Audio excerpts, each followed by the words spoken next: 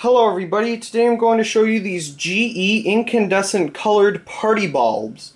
As you can see, they're all in their older packages, which I really like, and it also took me forever to find every color in their oldest package.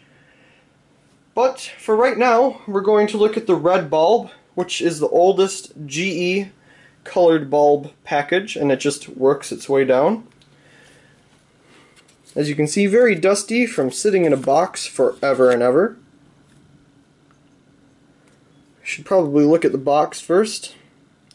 They must have made an orange bulb at one time, but I have never ever been able to find it.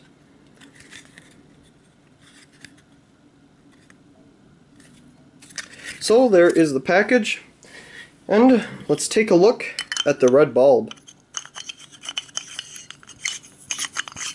I got all these bulbs brand new from random hardware stores. So here's the red bulb.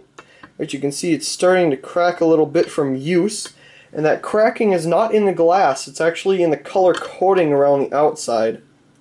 So, if we are able to see, which I don't think we will be able to, but maybe, um, on the etch, of course, it says GE 25 watt in the older style of writing and 120 volt.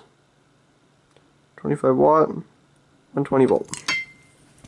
So there is the red GE party bulb.